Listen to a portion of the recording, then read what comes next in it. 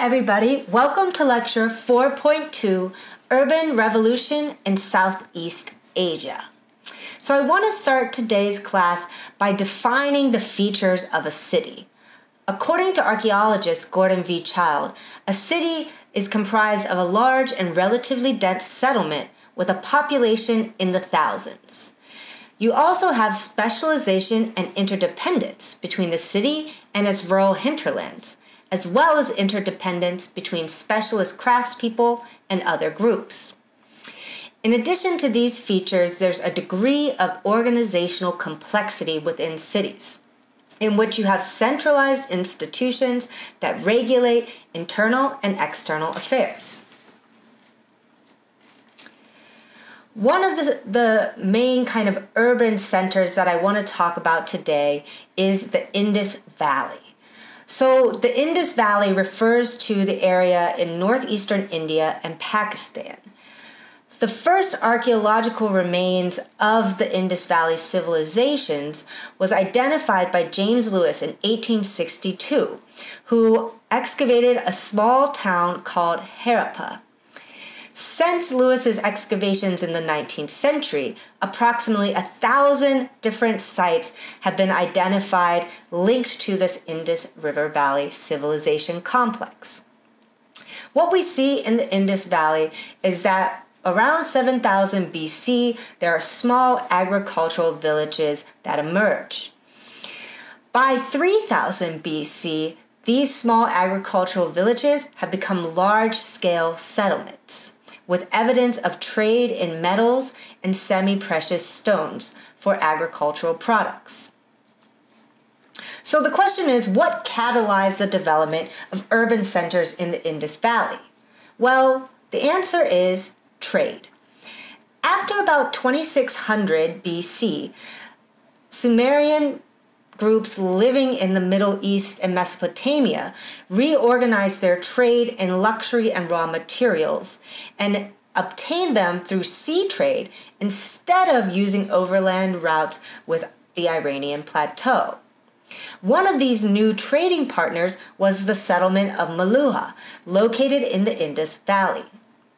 Archaeologists hypothesize that the dramatic increase in long distance trade with Mesopotamia may have catalyzed this shift from small scale agricultural settlements to major urban centers within the Indus Valley. This new trade system brought South Asia into an early world system, linking Eastern Mediterranean cities with Eurasia and Western and Southern Asia. There's five major Harappan or Indus Valley civilizations that we want to think about. Uh, Harappa, Mohenjo-daro, uh, Rakhigarhi, and Dholavira. Both Harappa and Mohenjo-daro were built on artificial mounds above the floodplains, a task that would have required a substantial amount of manpower and effort. These cities formed the kind of center of regional activity that were linked by common types of symbolism and religious beliefs, but had very different administrative and social systems. So let's zoom in onto one of these major Harappan cities, Mohenjo-daro. So Mohenjo-daro was occupied from roughly 2500 to 1500 BC and has clear cultural links with Western and Central Asia. They were one of these kind of early agricultural settlements that was based on the production of Asian wheat, rice, and barley, and used those products to exchange for copper as well as turquoise and shells. The city of Mohenjo-daro was by far the largest of all the Harappan urban centers. It covered roughly 618 acres and was rebuilt at least nine different times. Our best guess of what the population was is that Mohenjo-daro at its height would have had about 40,000 people. If you include the suburbs of the city, the population was closer to 100,000. Mohenjo-daro itself is divided into a western citadel complex and an eastern residential area.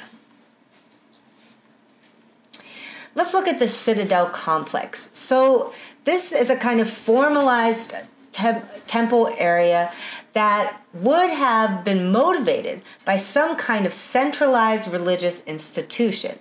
So you see behind me a raised area with a citadel in the west that included public religious buildings. Can see here.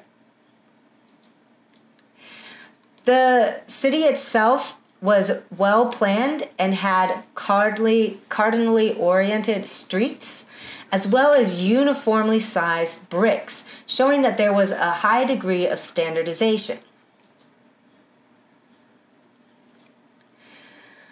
We also see an emphasis on water provisioning, drainage, and a series of protective walls that cover the entire uh, citadel complex, as well as the suburbs.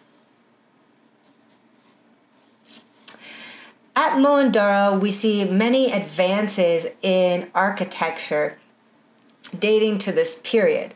For example, there's dockyards, granaries, brick, brick platforms, and an elaborate sewer system.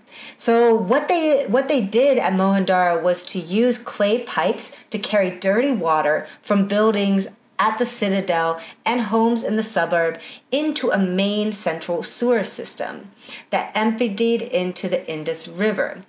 This is one of the first pieces of archaeological evidence that we have that people actually had bathrooms in their homes.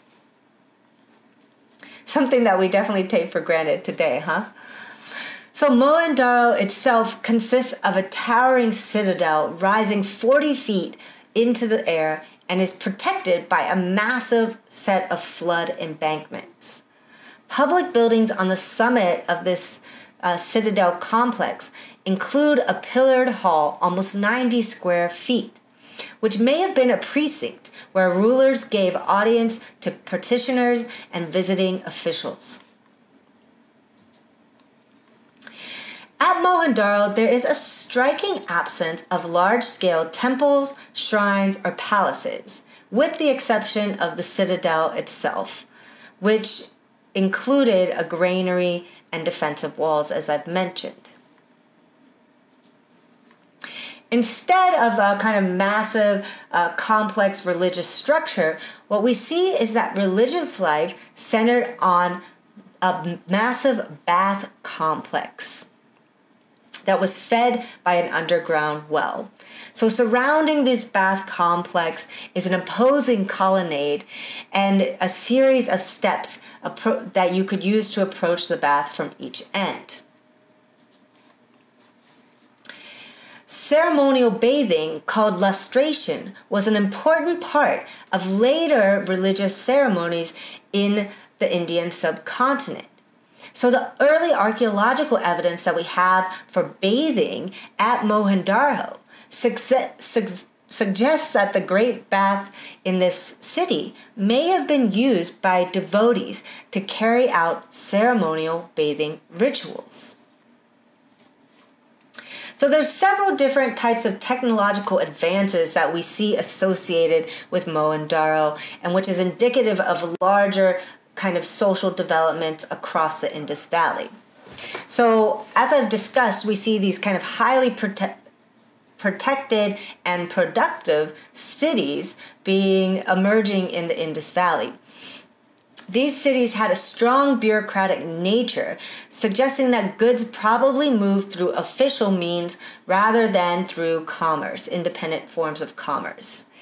As a result of this kind of centralization of commerce, we see a standardization of weights and measurements used used to, to measure and price out the exchange of goods. As part of this kind of bureaucratic process, we also see the development of official seals that had carvings used to identify property and to stamp trade goods. These seals were decorated with elaborate animal motifs of things like elephants, water buffalo, tigers, and even unicorns.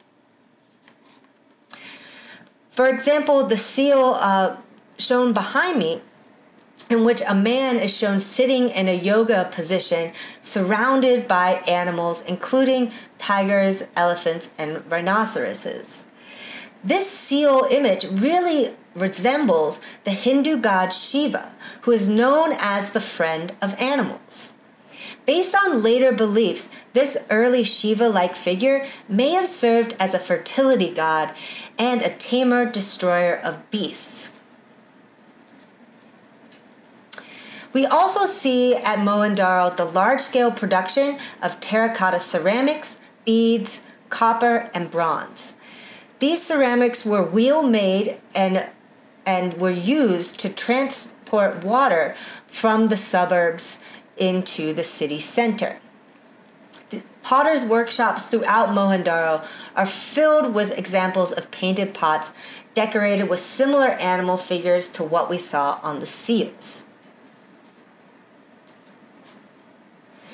In addition to these sorts of examples of material culture, we also see the development of an Indus script system. So think back to lecture 4.1 when we were talking about those traits of civilization. Writing is a, a central trait that we think of when we think about complex societies, and we find it here in the Indus Valley.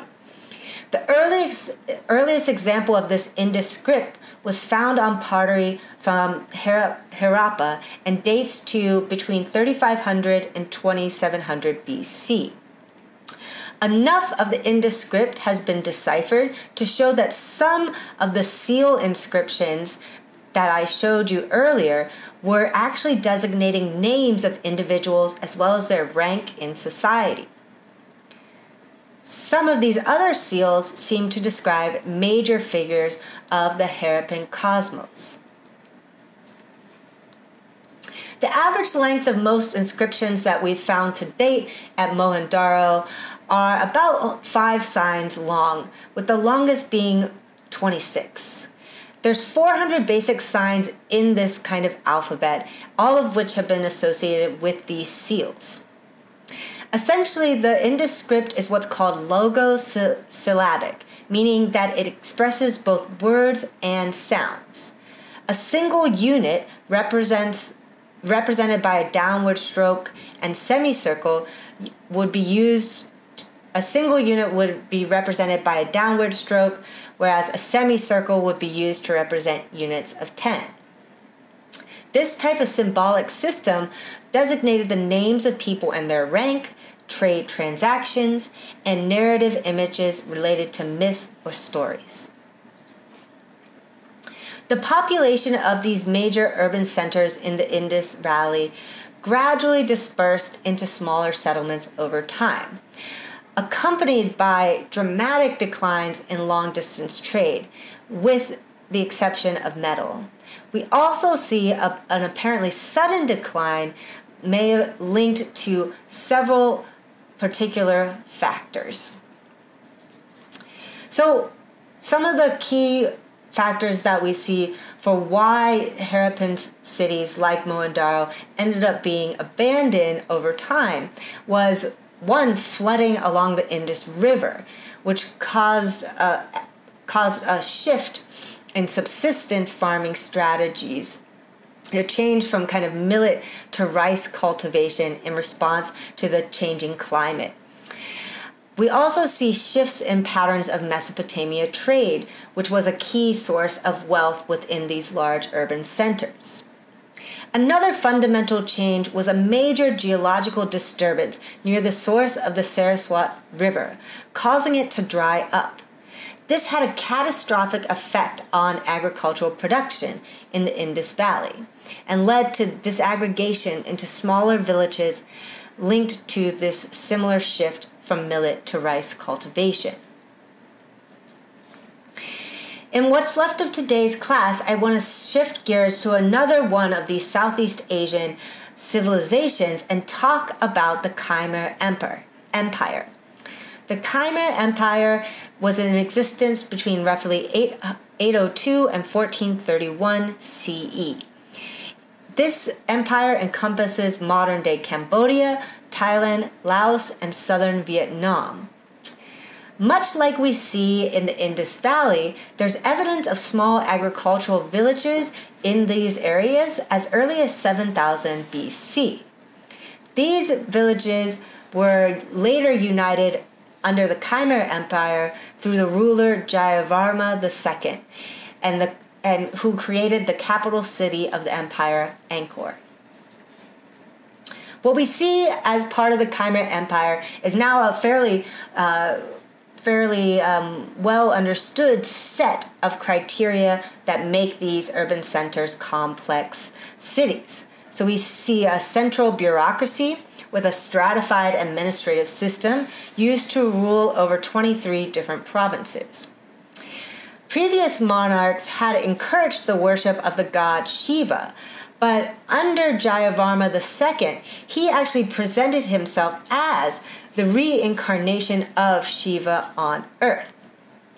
So, as a kind of divine ruler, Jayavarman became um, a, the kind of focal point of this empire uh, and was the primary supervisor of basically every aspect of Khmer life, from agriculture to warfare, tax collection, as well as rituals relate, related to the state's religion. Under the Khmer Empire, a custom developed of building new, majestic, and holy temples to house the royal symbols of each king. This led to the construction of massive religious structures to commemorate each king's reign. These, these structures included things like reservoirs, canals, extensive road networks, and temple complexes. The, one of these key places that I'll show you is Angkor Wat, a UNESCO World Heritage Site. Angkor Wat is an extraordinary shrine complex, the largest religious building in the entire world. The complex is about 5,000 by 4,000 feet. The central block itself measures 700 feet long and rises over 200 feet above the forest. This palace dwarfs the largest Sumerian ziggurat and makes Mohenjo-Daro's citadel look like a village shrine. So, Angkor Wat was not just an elaborate temple complex, but was also intimately layered into Khmer beliefs about the afterlife and the cosmos. So it was believed that the gods lived at the summit of Meru, Mount Meru, and that this mountain is represented at Angkor Wat by the highest central tower. The remaining four towers around this uh, representation of Mount Meru were are considered Meru's lesser peaks. So we see the replication of this cosmological landscape within the temple complex itself. We also see this enclosure wall around the main temple complex that is intended to depict the mountains at the edge of the world. So, this wall is representing the extent of the cosmos. Surrounding this entire temple complex is a large moat which depicts the ocean beyond. So, in addition to this elaborate kind of temple complex representing the, the Khmer understanding of the cosmos, various different Khmer kings created temples within this complex. One in particular was dedicated to the god Vishnu. During his lifetime, Suryavarman II used Angkor Wat as a place to communicate with the gods as he took on divine status. When he died, his body was placed in the central tower so that his soul entered his divine image and made contact with his royal ancestors. After death, it was believed that the god king became one with Vishnu. Throughout this extensive palace complex, we see highly elaborate relief statues depicting the king's activities. What you see behind me is a bas relief showing King Suryavarman seated on a wooden throne wearing an elaborate crown and uh, pectoral uh, of bronzes.